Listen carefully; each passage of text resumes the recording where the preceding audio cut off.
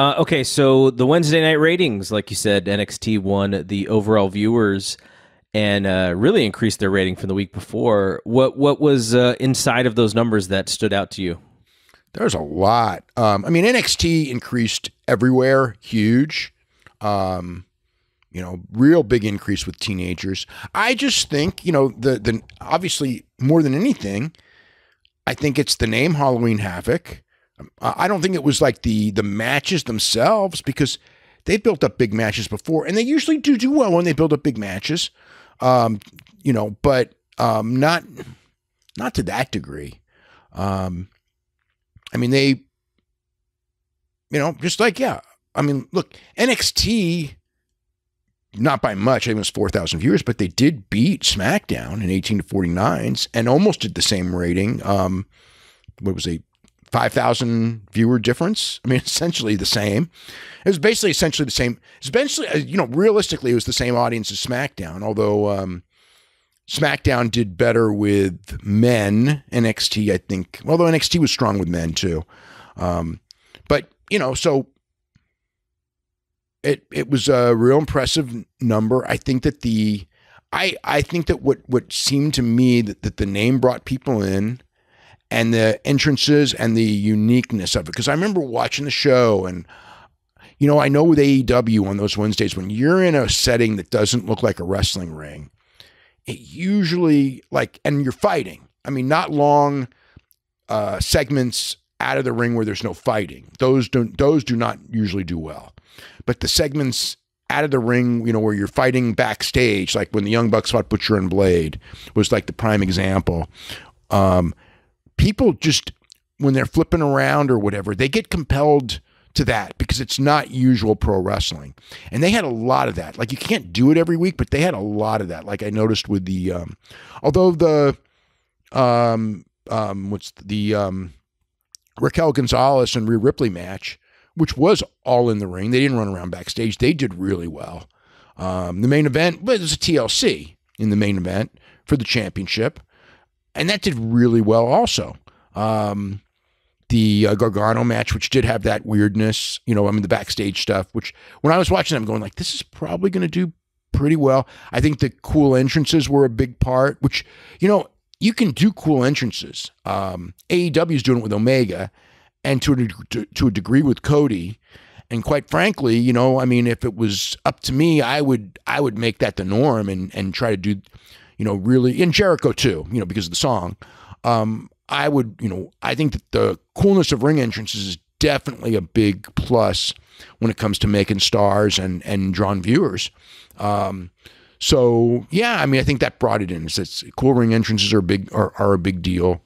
Um, you know, will you know what does this mean? Because I mean, they were not doing anything for weeks, and then one week, all of a sudden, that number just exploded. You know, I mean, um, and yet in in every key demo they still lost, um, and and by a significant margin. I think there was um, males eighteen to thirty four was actually pretty close, but every and and and and NXT actually went big with male teens. AEW was hurt with male teens, and and that's actually like if you know I see all these people like talking about oh you know like that Jericho segment the week before. It's like Jericho and and um, MJF were the winners. They had the highest, uh, you know, number of anyone, you know, 18 to 49, which is the key number. They were number one of the whole night.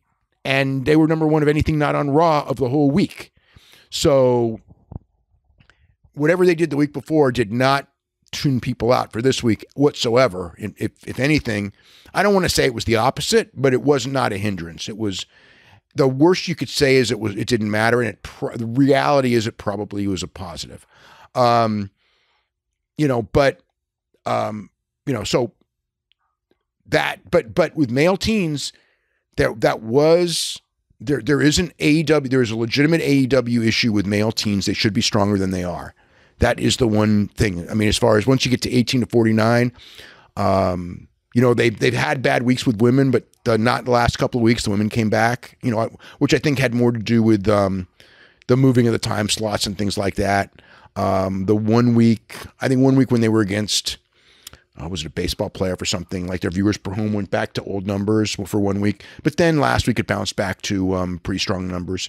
So there's, I mean, there's there's little things here and there, but um, um, for you know, I, I mean, there's you can you can always you can always improve.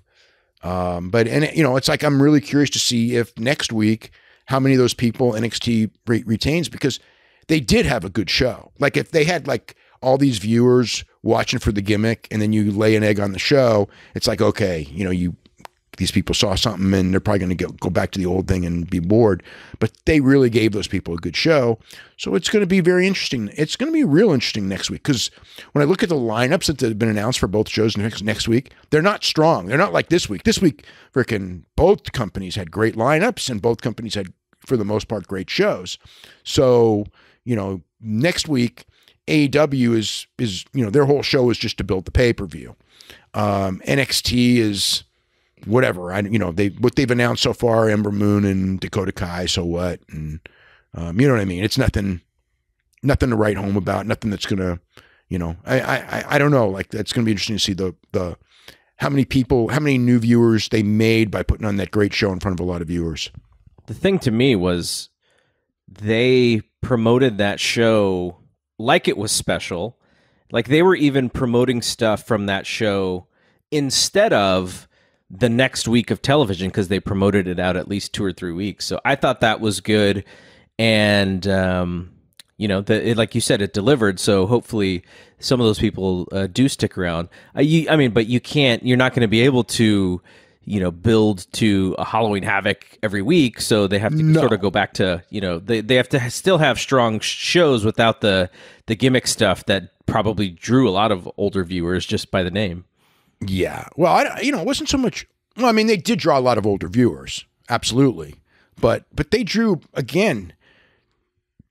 They had great gains in in in, in eighteen to forty nine, and great gains with teenagers. I mean, the teenage numbers for NXT were, um, you know, it, it blew away SmackDown and blew away AEW. Um, well, I just watched uh, Halloween Havoc 1992, and this 2020 version was only about 2,000 times better than that show. Yeah, it was it, it, it, was a good show. But the other thing is, is that you can't. I mean, you can't do all the brawling outside the ring and haunted house and that stuff. You you can't do that week after week because if you did that week after week, you'll essentially it'll become worthless. But um, and you can't do a TLC match every week. But but again, one of the high points was that uh, Rhea Ripley Raquel Gonzalez match, and granted, that was built up over many many weeks, um, maybe even months if you really look back on it. Um, and it was the first match, and they put it on TV, not on on pay per view or you know takeover or whatever.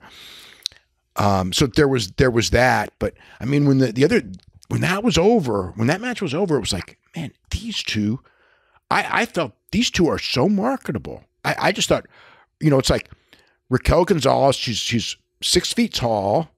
She's looks athletic. She moves athletic. She's really good. Ripley's even better. Um, Rip, I mean, Ripley should should have been a star on the main roster from a year back. Um, Gonzalez, I mean, I would keep her in, in NXT for probably another while, but I would look and go like she's got so much potential. And then immediately after I think that, I go, well, look at every single person in NXT and look what happened, you know, um, when they went to the main roster. And then I got a lot less excited about it. hey, if you're a big fan of Wrestling Observer Radio, we got 12,000 episodes of all of our podcasts up at our website, WrestlingObserver.com. If you sign up today, you get access to every single one of them. The 12 to 18 new shows that we do every single week, you can podcast them, listen to them on the road, at work, working out, in the shower, wherever you listen to your podcasts, and also full access to the Wrestling Observer newsletter and archives. So if you love what you hear, head to WrestlingObserver.com. 12,000 audio shows at your fingertips.